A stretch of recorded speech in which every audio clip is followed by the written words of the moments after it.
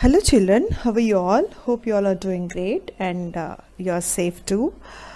Children, I'm Shilpa, the class teacher of grade 2, and I'm going to teach you science.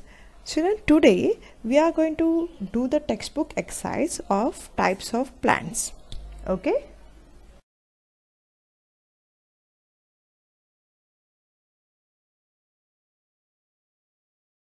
Children, this is the first page of types of plants, page number 7. Here they have given an activity that is collect fallen leaves of any three plants and dry them in fold of newspaper. Children, for now you can collect some fallen leaves. Don't pluck the leaves. Some fallen leaves you can collect it and keep it with you. When the school will reopen, we will do it in our class. Okay? Now next page. Here down below they have given a question that is tick the correct statement and cross the wrong one. Means if the statement is correct then you have to tick it. If it is wrong you have to cross it. Okay? Let's see. Number one shrubs live for many years. Shrubs. Shrubs means a bushy plant with woody stems. Okay it live for many years? No, it live for few years. Now this statement is right or wrong? Yes, it is wrong. Now the next one, number two, herbs are big plants. Herbs are big plants? No, herbs are small plants, right? So this statement is wrong. And number 3 people and coconut are examples of trees. Peepal and coconut are example of trees. Is it right? Yes. Right.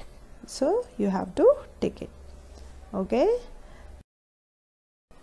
Children here in page number 10 they have given an activity that is write down names of two plants each that you see in your school or around your house in the column given below. Means you have to write any two names of trees two names of shrubs two names of herbs.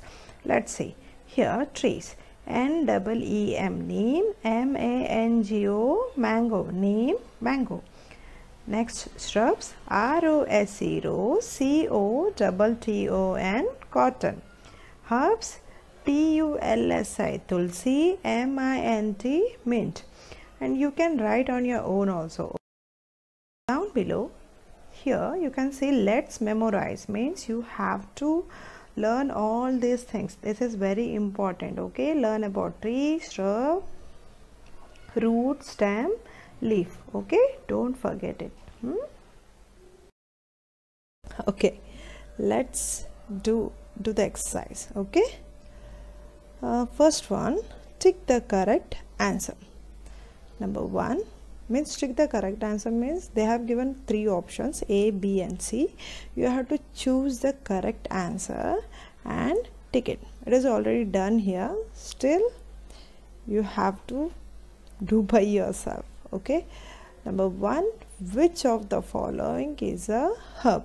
Option a banyan. Option b coconut. Option c mint herb. So banyan is a tree, right? Coconut is a tree and mint is a herb. Very good. So option C. Next number 2. Plants are generally means uh, plants are generally in which color? Means red, blue, green, black, white. Which color? You know plants are which color, right? Option A black, option B red, option C green. Yes, it is option C green. Next number 3 seeds are present in. Means where does we find seeds right? Uh, means uh, where we find seeds? Which part contains seeds? Option A roots. Option B leaves. Option C fruits. So where is it yes it is fruits. Some fruit have one seed some fruit have many seeds some fruits have few seeds right? So seeds are present in fruits. That is option c okay? Now here next one. Fill in the blanks with correct words. They have given the options here. They have given some words help box. In this help box you have to choose the correct answer and then fill it up. Okay? Let's start. Number one a tree has thick hard and woody stem called what is it called? Yes i know it is already written. It is called t r u n k trunk. Okay? Next number 2 dash have many branches rising from the ground. Many branches. Means bushy plant. What is it? Yes it is shrubs. S h r u b s shrubs.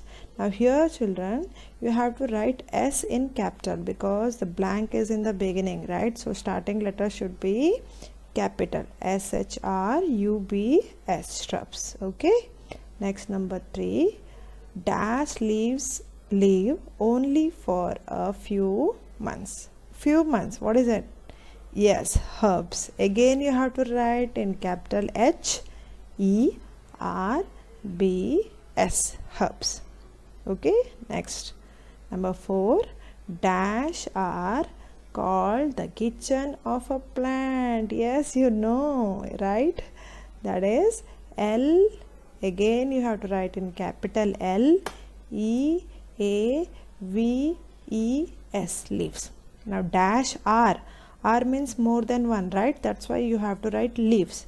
If dash is is dash is is there, then you will write L E A F leaf.